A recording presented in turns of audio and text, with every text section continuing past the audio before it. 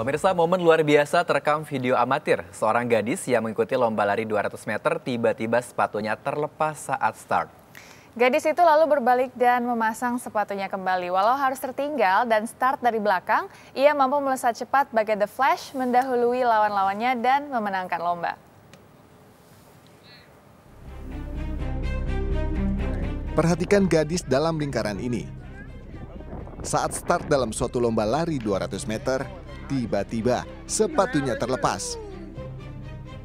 Ia pun terpaksa berbalik dan memasang sepatunya kembali. Menyerah? Siapa bilang? Walau harus kehilangan detik-detik berharga dan tertinggal cukup jauh, ia tak menyerah begitu saja. Setelah sepatunya kembali terpasang, ia lalu coba mengejar lawan-lawannya. Kita lihat sekali lagi. Saat sepatunya terlepas, setidaknya ia kehilangan waktu sekitar 7 detik untuk memasang dan berlari kembali. Walau tertinggal jauh, Eng Ing Eng, dalam waktu beberapa detik, ia berhasil mengejar lawan-lawannya. Lihat, di detik ke-19, dia berhasil melewati pelari kelima.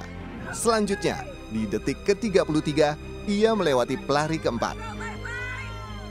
Di detik ke-35, ia melewati pelari ketiga. Dan satu detik setelahnya, ia berhasil melewati pelari di peringkat kedua dan pertama. Ia berlari begitu cepat, memenangkan lomba lari tersebut dan disambut sorak-sorai keluarganya.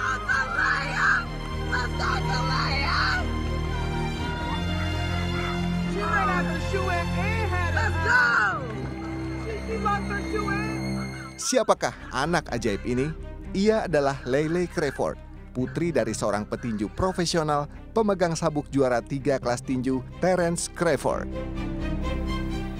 Pemirsa usai sudah kebersamaan kita dalam Merah Putih Peristiwa malam hari ini. Saya Novia Putih Pama. Saya Mziar Winata. Kami pamit undur diri, sampai ketemu lagi besok dan wassalamualaikum.